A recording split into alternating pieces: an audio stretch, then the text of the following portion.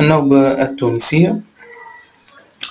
هو قالب موسيقي تونسي بالطبيعة نحكي عن نوبة تونسية. تقليدي هادي وغنائي. علاش آلي وغنائي؟ ديجا هو القالب الوحيد اللي آلي وغنائي في نفس الوقت على خاطر فيه قسم آلي وقسم غنائي. القسم الآلي هو مجموعة من المعزوفات والقسم الغنائي يتكون من مجموعة من الموشحات والأسجال.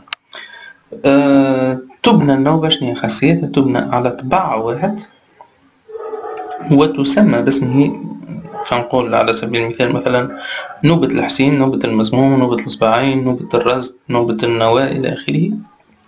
تتنوع الإيقاعات المستعملة في النوبة الواحدة وتختلف سرعاتها ويضم التراث الموسيقي التونسي 13 نوبة سجلتها ودونتها آه، المعهد الرشيدي. أقسام النوبة الاستفتاح هو عطف جماعي تفتتح به النوبة يبرز خاصية الطباعة ويكون موزونا وغير موقع. المصدر أدليب معناها المصدر مقدمة موسيقية تصير على وزن المصدر الطوق جملة موسيقية وزنها ستة ثمانية السلسلة جملة موسيقية آه، وزنها ثلاثة ثمانية. بعد دخول الأبيات آه، هي جملة موسيقية تمهد للغناء.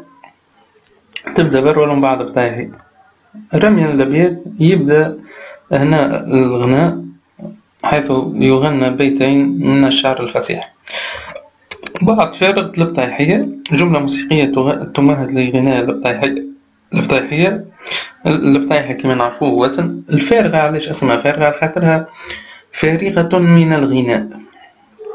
ما فيهاش كلمات هذاك علاش اسمها فارغة البطايحية هي موضوع بعد البطايحية مجموعة من الموشحات والأسجال على إيقاع البطايحي وبعد تجي التوشية وهي القطعة الموسيقية الوحيدة في مقام مغاير لمقام النوبة الأصلي.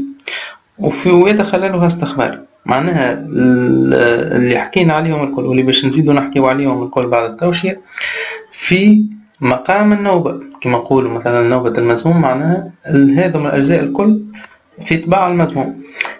التوشية هي الوحيدة اللي قطعة صغيرة آلية ما هيش في الطباعة متاع النوبة.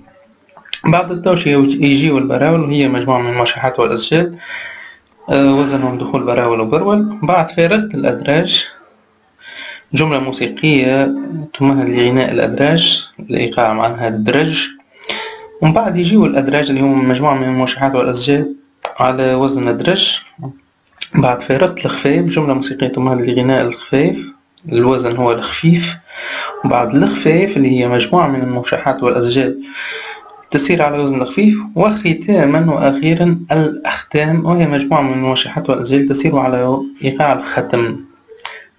زدت ملاحظة قلت لحن خميس ترنان في قالب النوبة معناها هذا هذا الشكل متاع النوبة لحن فيه خميس ترنان نوبة لكن في مقام النهاوند الشرقي وسماها نوبة الخضراء اللي منها مثال أيها المولع واللي نقرأه في مقام النهاوند